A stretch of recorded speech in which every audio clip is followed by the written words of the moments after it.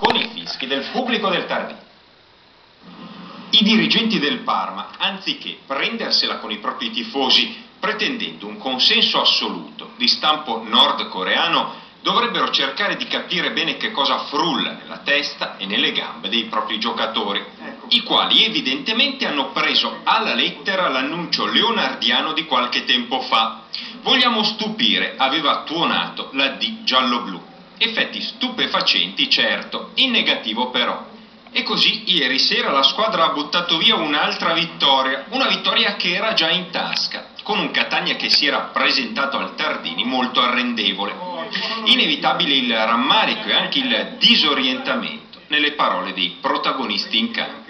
Comunque la gente giustamente paga il biglietto e quando è contenta fa gli applausi, poi quando, quando le cose magari per loro non vanno bene giusto che fischia niente, niente, niente da dire. Siamo i primi noi scontenti eh, perché volevamo fare veramente un Natale sereno, così dobbiamo ripartire eh, subito eh, quando torneremo dobbiamo lavorare per, per fare una grande partita, l'otto. Ora il Parma va in vacanza, ritrovo fissato il 28 dicembre, prossimo impegno ufficiale sabato 7 gennaio a Milano contro l'Inter alle 20.45. Ieri sera in sala stampa il presidente Tommaso Ghirardi ha evitato di presentarsi per formulare i tradizionali auguri di Natale. È arrabbiato.